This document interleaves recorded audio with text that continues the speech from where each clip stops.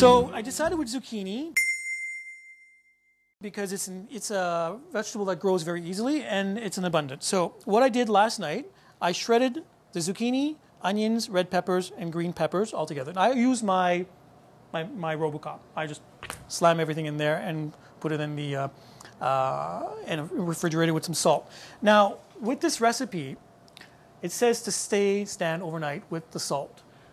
You really don't have to do that if you want to do it the same day. The only problem is salt draws out moisture. So when this sits overnight, it's drawing out the moisture. So when you drain it, a lot of the moisture comes out.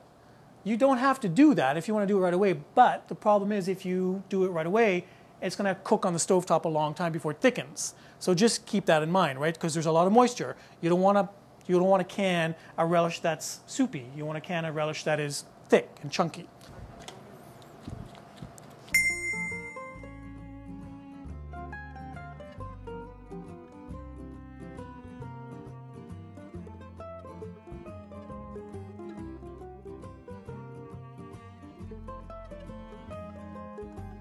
So this is pretty thick, just the way I want it to. All right, so, so for headspace, we want to make sure that it's correct. So headspace for this baby is, I think it's half an inch.